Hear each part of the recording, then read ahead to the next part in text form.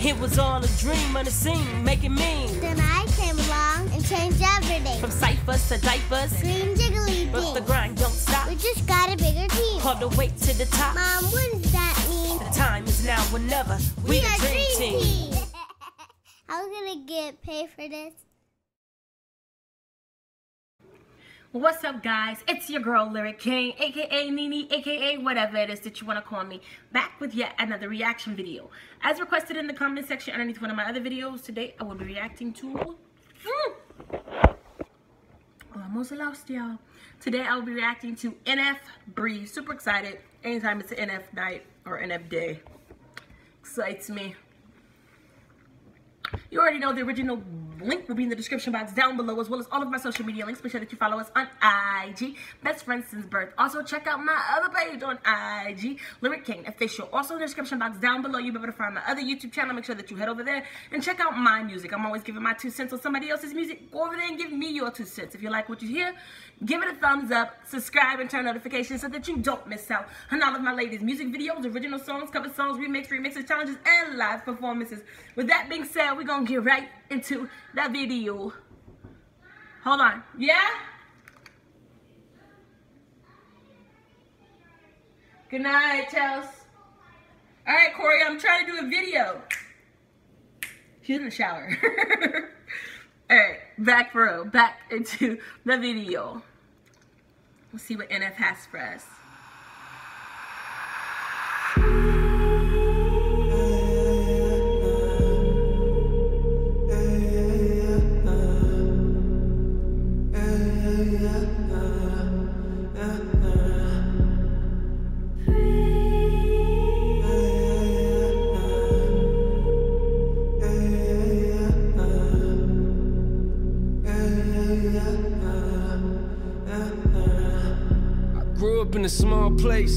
To drive an hour just to see a movie.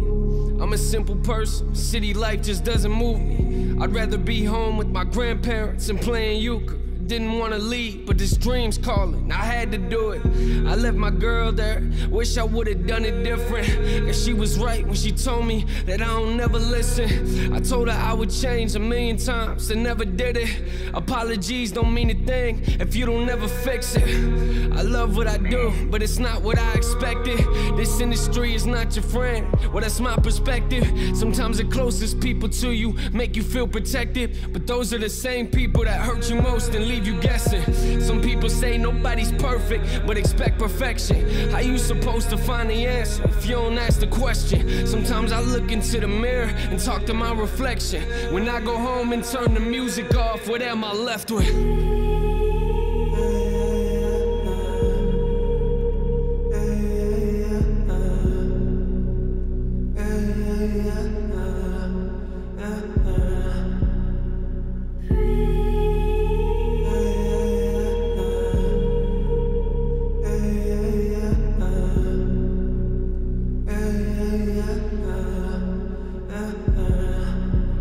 Used to be close, but as time passed, we became disconnected. You never felt loved, and I always felt disrespected. Your family thought I was a joke, I was always defensive. They just wanted what was best for you, I just couldn't accept it. And hurting you was not a part of my plan or my intentions. But I was immature, I guess I had to learn some lessons. We grew apart and our lives went in different directions. And there's a lot of responsibilities that I neglected. I had a lot that was bottled inside, couldn't express it. And this pain won't leave. I can feel the depression. It's taking over my body. Feels like I'm always stressing. Doctor told me I should sleep, but I'm always restless. I lay awake at night and think my thoughts are relentless. I need a moment to breathe. I need a moment to vent this. I seem to be the only person that I play pretend with. And when I turn the music off, what am I really left with, huh?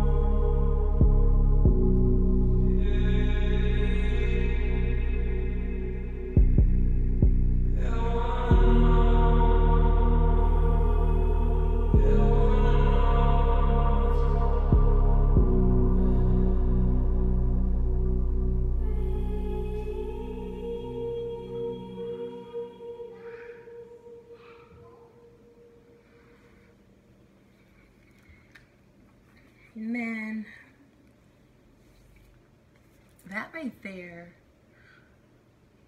That was awesome. I feel like I always say the same thing whenever I hear an NF track, but it's the truth. Like, but on some real shit, like with this track, I can definitely see myself downloading it tonight and just like putting it on replay.